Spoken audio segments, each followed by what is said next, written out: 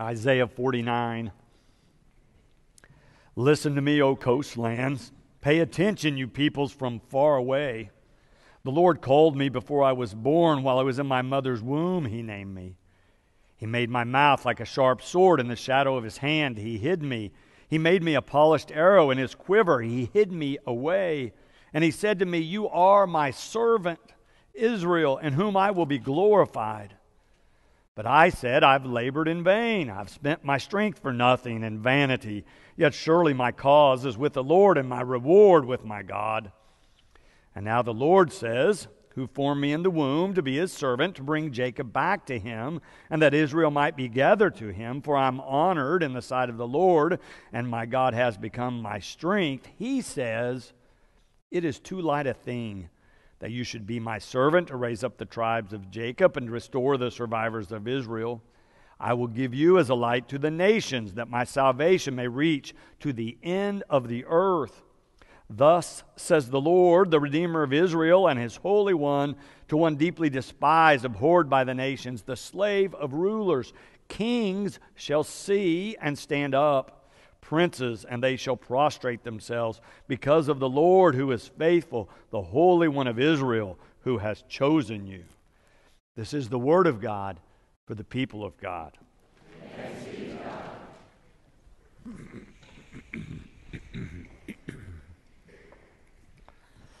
Isaiah begins this chapter with this bold claim that God knew him and chose him and named him before he was born. In a sense, he's giving his credentials because he wants people to listen to what he has to say. You can hear it in verse 1, the way he begins this chapter. Listen to me, O coastlands. Pay attention, you peoples from far away. The Lord called me before I was born. While I was in my mother's womb, He named me. He wants people to listen to pay attention. He believes God is speaking through him a word for the people, and he wants them to know that he's got some cloud here, that he's been with God, and God has been with him a long time, and he's ready to proclaim this word. And yet, by verse 4, after verse 1 claiming that, verse 2 and 3 telling us about how God has worked and shaped him, he says, but I said, I have labored in vain. I have spent my strength for nothing and vanity. He goes from a bold claim to saying, I don't think this is worth anything. He is discouraged and disillusioned, it sounds like. Could that really happen? Someone feels the call of God and it grabs them by the heart, then they lose it? I reflected on my own journey some. How while I was a freshman in college, it really began before that, but it clarified itself when I was a freshman in college that God was calling me into the Methodist ministry. I'd grown up in the Methodist church. So I'll go back home to talk to my pastor that was the senior pastor there at the time. He begins to tell me about this book you have to read and this process you go through. I need to meet with the Staff Parish Relations Committee. They have to assess my gifts and graces for ministry. They are the ones who determine whether I'm recommended to go on. Of course, I've known these people all my life. They're the ones who raised me in the faith. It was easy to talk with them. They sent me on to the district committee, then the conference committee. And you go through all these different layers and stages. I finished college, I went on to seminary was ordained a deacon in my second year. That's the way we did it then, on as a, as a way to moving toward a full elder or someone who can serve and itinerate for the Methodist Church wherever the bishop might send you. I breezed through all that. It was fine. I was coming into my third year of seminary. I thought I'm ready to serve a church. I had been a youth pastor and an education director and a number of things by then in a whole variety of churches, big and small. The district superintendent said, I've got a place for you. I was going to school in Kansas City, Missouri at the time. He says, I've got three churches, a little over an hour north of where you are. Be an easy drive. Drive up there, preach three times on Sunday morning, visit people on Sunday afternoon, go back to school. So I said, okay. I was excited. I drove up. I would preach 8 o'clock, 9.30, 11, every Sunday, visit some people in the afternoon, go back to school. By February, I thought it's going pretty well. I know these folks pretty well. They trust me. I was studying ethics and theology. We'd been talking about sort of the existential crisis that the nuclear weapons had created in our world and how possibly if our country and the USSR kept escalating, one of these was going to go off and then a nuclear war and we'd all be obliterated. I thought maybe we should talk about it at the board meeting. So in February, I brought it up. Guess how that went? I had farmers and homemakers and older retired businessmen there. They weren't too keen on the idea. But it wasn't that they attacked me. They began to say things to each other that I could not believe I was hearing in the church. It was like things I would not say to anybody. Well, at least not to their face in a church board meeting. But they were saying things, they were not of one mind. It just escalated in unhealthy ways after one and another of them spoke until finally the conversation just stopped. We had some other items of business, some by then what seemed like rather mundane decisions to make about the building. We tried to talk about those, but the unhealthy negativity had grasped everyone in the room, and we couldn't even make a decision about anything. The meeting ended, and everybody left pretty much without speaking. I got in my car to drive back to Kansas City. I was disillusioned. Here were leaders of the church, people who had gone to church with one another for decades, and they spoke to each other in such harsh ways I was stunned. By the time I got back to our one bedroom apartment, Mary was there. We had been married just a little more than six months. She had not gone with me that weekend. I walked in and declared to her, I think I'm done. I'm quitting seminary and I'm leaving the ministry. I added something like, I refuse to spend my time with people who are so petty and mean spirited. She was also a student. I was the only source of income. She's like, wait a minute. she had a little cooler perspective. She had not been infected by all the negativity that had surrounded me. She thought perhaps now was not the best time to make that decision for the rest of our lives. She counseled that I talk to some of my fellow seminarians and some of my professors and see if maybe I could figure this out in another way. Of course, she was right. So I navigated, finished the year, finished seminary, finished serving those churches. But I tell you, on that night, I could have joined Isaiah without a doubt and said, You know what? I have labored in vain. I have spent my spring my strength for nothing. It was so disheartening to see people in the church, leaders in the church, treat each other in such terrible ways. So it can happen. I managed to stay in the ministry, but some of my classmates did not. We see people leave the ministry every year for one reason or another. But it's not only ministers. Research shows us that people who make a commitment to Christ, who join a church with great enthusiasm, who are on fire for God, if you track them for a year, more than 50% of them are no longer able to be found in their church. They have fallen away or drifted away or decided they made a mistake or something, and they are gone humans can be pretty volatile and fickle. We can lose heart quickly.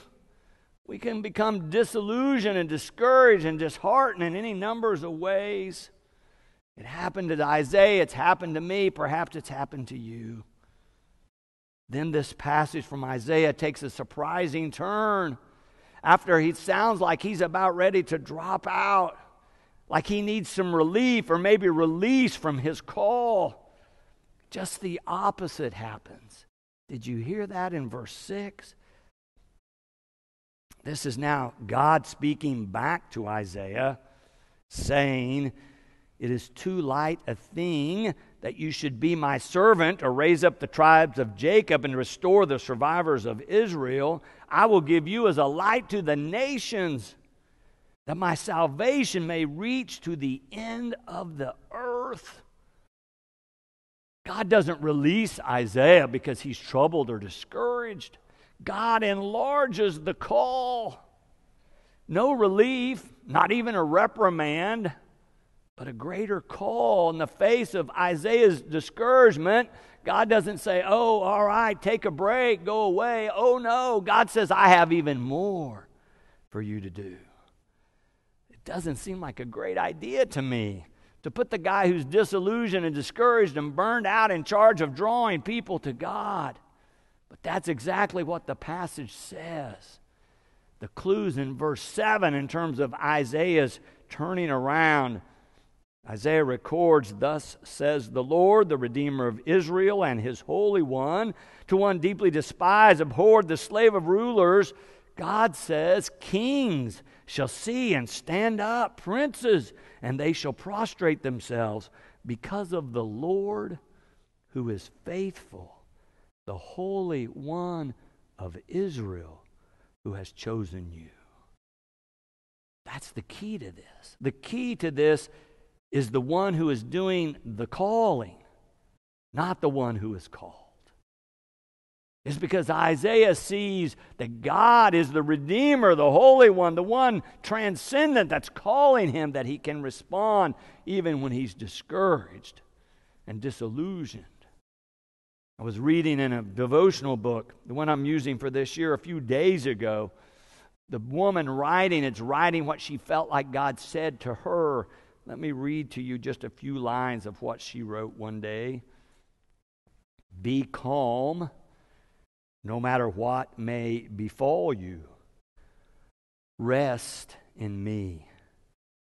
Be patient, and let patience have her perfect work. Never think things overwhelming. How can you be overwhelmed when I am with you? That really grabbed me. I still have days sometimes that I feel overwhelmed. It's happened time to time throughout my ministry. But I thought how wonderful this reminder is. This question how can you be overwhelmed when I am with you, when the Holy One, the God of the universe, is with you. Rest in me, God says. Count on me. So it's not the circumstances, it's not who I am, it is who God is that makes the biggest difference. And Isaiah says, God is the Redeemer, the Holy One, the one who is faithful, the one who can see beyond the bounds of life and death and knows us before and after. That one, the creator of the universe, that one is calling you. And there's power and understanding who's doing the calling. Isaiah can go on in the face of discouragement and feelings of failure because God is calling. And Isaiah says, You can count on it. God is faithful. The Gospels tell us the same thing. We see in the Gospels, Jesus expands that theologically to say that God not only called the prophets, but God is calling all of us. Each and every one of us has a call. If you read through the Gospels, you can see it in all of them. If you look at Mark, as he tells us about Jesus beginning his ministry, it's not just calling individuals disciples. Jesus says the kingdom of God is at hand, it has come near. Repent and believe the gospel. Or in John, where he says, I have come that they, not just a few individuals, but anyone who will listen, that they may have life and have it abundantly. Or the largest portion of any preaching that Jesus does in the Gospels, in Matthew, for example, the Sermon on the Mount, Jesus talks about these blessings that different groups, different individuals have. I'm going to read you a few of those verses. When Jesus saw the crowds, he went up to the mountain, and after he sat down, his disciples came to him.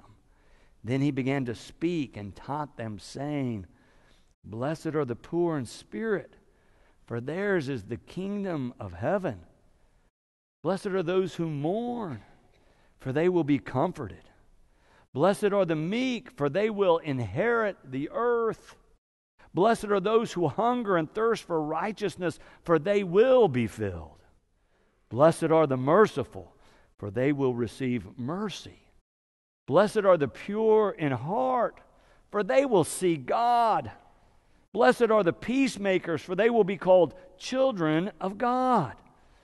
Blessed are those who are persecuted for righteousness' sake, for theirs is the kingdom of heaven. Blessed are you when people revile you and persecute you and utter all kinds of evil against you falsely on my account. Rejoice and be glad, for your reward is great in heaven. Jesus isn't saying we all have the same call, but he is inviting all to hear the call. You hear it again. I'll just give you one more example. Later in Matthew chapter 11, Jesus talking to the crowds and says, Come to me, all you that are weary and carrying heavy burdens, and I will give you rest. Take my yoke, you could say my call, take my yoke upon you and learn from me, for I am gentle and humble in heart and you will find rest for your souls. For my yoke is easy and my burden is light. Nowhere does it say we all have the same calling, but there's verse after verse within our Holy Scripture that says all of us have a calling. We might have different gifts and different blessings, as Jesus enumerated in the Sermon on the Mount. But we all, each and every one of us, have a call from God upon our lives. We are called to be a part of the work of God for good in the world. And you could hear it in that last pa- passage I read. Not only does God say through Jesus, You are called, come and take my yoke upon you, but He gives us the assurance that if we will, God will carry that with us. He says, if you take the yoke, you can learn from me to be humble and gentle, and you can learn to rest in God. See, there is a power in God. Isaiah can respond and live out his call not because of who he is, but because of the power of God he senses. Jesus is saying the same thing. There is a power of God that if you take on this yoke of which I speak, you'll be taught and you'll be empowered. You'll have a sense of rest and refreshment for your souls in responding to your call. Now, Jesus doesn't always say it will be easy, but the power of God makes us able to not only do the work, but as Jesus says also, to rejoice and be glad that there's a refreshment and a joy that comes with walking with the Lord. Isaiah tells us all about his call throughout this book we're reading from. Today, he gives us a glimpse of his discouragement, and he also gives us the clue to how and why he can continue despite whatever circumstances he might encounter and it's because of the one who called him, the Redeemer, the Holy One of Israel, the one who is always faithful. It's interesting to learn about Isaiah's call and the watch as he grows in his faith and does the work of God. But perhaps more important for our purposes today, not to think about Isaiah's call, but to think about our own call. If in fact you believe the gospel that all of us have a call on our lives, then discerning your calling is really important. Where do you see yourself in God's work of bringing light and salvation to our part of the world? It's a question worth considering. May God be with you. Amen.